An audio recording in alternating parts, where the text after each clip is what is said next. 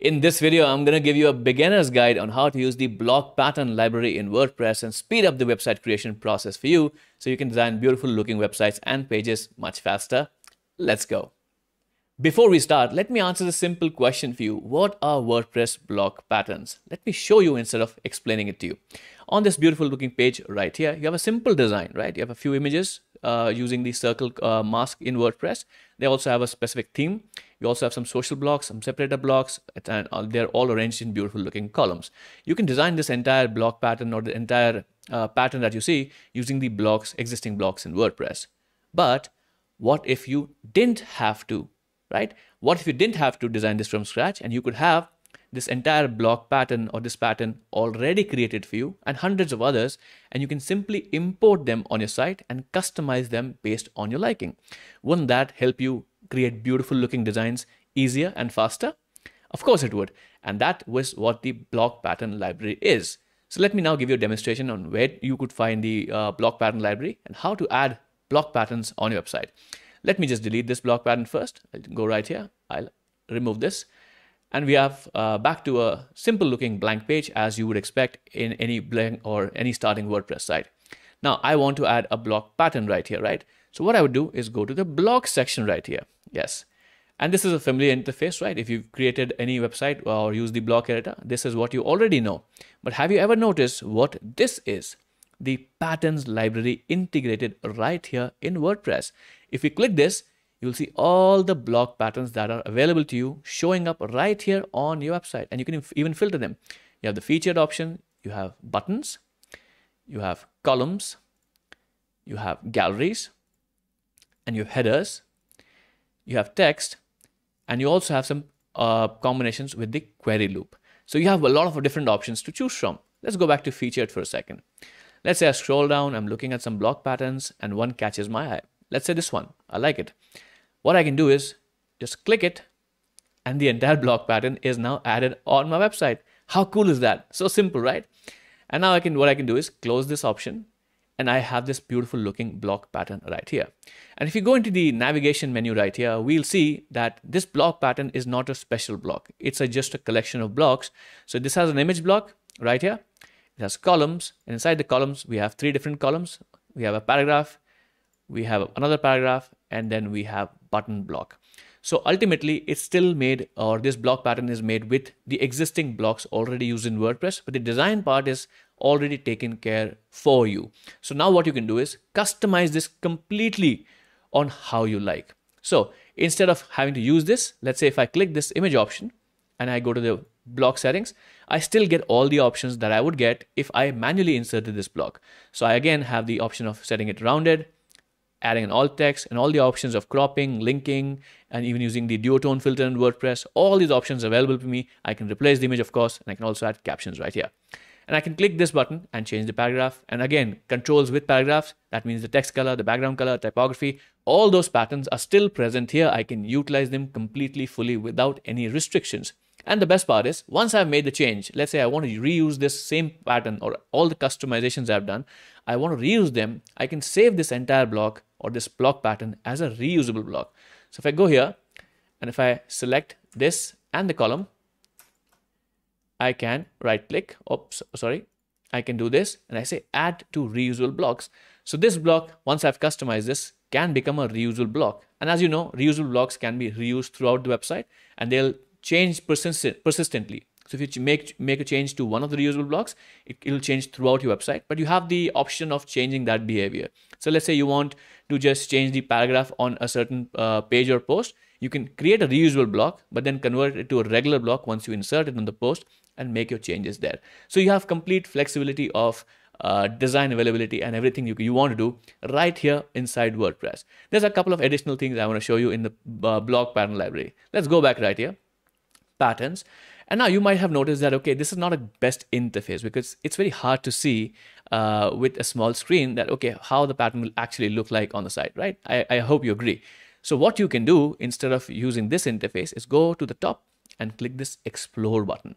So as soon as you click explore, this entire interface will change to this full screen interface, which again is much better in my opinion. It also has a search box. So if you, if you already know the name of block, you can search for it. And similar features we are already seeing right here, like uh, for example, the filtering option, I can click the buttons, columns, gallery, headers, text, and query. But this is again not the last place where you can look for block patterns. Is that funny, right? You can also see block patterns on a WordPress website. For example, uh, if you go to plugins, you can check out plugins right here from inside the website using the plugins library from the install page. But you can also go to wordpress.org and slash plugins and look at the plugins there. Similarly, if you go to wordpress.org slash patterns, you can reach this page, which is the block pattern library. For example, I'll click this, it'll reach the home page, and this will again feature the same patterns that we were observing right here on this page. So it's a complete interface which you can use to explore block patterns. And there's a couple of things here which I will highlight once I have just given you an example of how the interface works. So you have the filtering options once again, you have the sorting options, the newest and popular. You can scroll through. And just to give an idea, 192 pages of block patterns are available here. So if I, let's say, go to page two, you can just get an idea of how many block patterns are available on a single page. So I'd say around 20 25, and you have 63, 64 pages of 20, 25 block patterns available to you. So the block pattern library is exploding. When I started, it started with just a handful of blocks, but now the blocks, uh, the number of blocks has exploded because of a particular reason, and I'll tell you why. So once you've explored the interface of the pattern block library, now you know where to find the block patterns on all three different locations on your site. Technically two, but yeah, a third location or a second interface. But you might have a question in your mind that how do I use the block patterns from this interface on my website? The first two interfaces were pretty simple. Just click and uh, automatically the block patterns added to the page, right? How do I do this? So let me give you an example. Let me go to the block pattern page right here and you'll notice something similar. Notice this is the exact same block pattern that I added to the website. So how did I do that? Let me show you very simply. Just hover over the block that you want to copy or the pattern that you want to copy and just click the copy button. It's as simple. Once you copied it, go back to your post or page. Just create a new or click on the page in the blank area. Make sure the cursor is active and just press Ctrl V. And the block pattern is instantly pasted on your site. And again, you have the same control, right? If I click the image and if I go to these options, can still see that I still have this exact same options that uh, the image block has. And I can click this and I'll have the similar options to the paragraph block. And I can do all those controls between uh, modifying and customizing this and again, saving it to a reusable block if I need. So that's how easy it is to use the power of block patterns on your website. Before I give you one last important piece of information, let me just clarify what's the difference between block patterns and reusable blocks. Block patterns, as I already demonstrated, they are predefined blocks that you can utilize on your site. And whenever you paste them on a certain page and make customizations, the customization stays on that particular page. They don't, they are not persistent throughout the site. But once you convert it to reusable block, the changes actually persist throughout the website. So let me just uh, give you a simple example. If I were to make changes to this and save this as a reusable block, then any page I add it to will have the same content. So if I made change to one of the posts, all the posts on my website which have the same reusable block will show the same changes. The changes are persistent throughout the website. But you do have the option of, as I mentioned in the beginning of the video, to change a reusable block once you add it to a post to change it to a regular block. So if you want the pattern or the general template to be the same, but you want the content to be different, you can create a reusable block. But then when you add the block to your page, you convert it to a regular block. It's pretty simple to do, and probably we'll have already have a video. I'll try and link it up on the screen if you already show or if you already have created a video about that. Now we've covered almost everything about understanding block patterns and what they can do for your website. But there's one interesting thing I'd like to show you. So let's go back to the block pattern library. Let me go to the first page and you see two different options right here, which is favorites. So you can, once you have created or logged into your WordPress account, I'm not logged in right now, you can see it.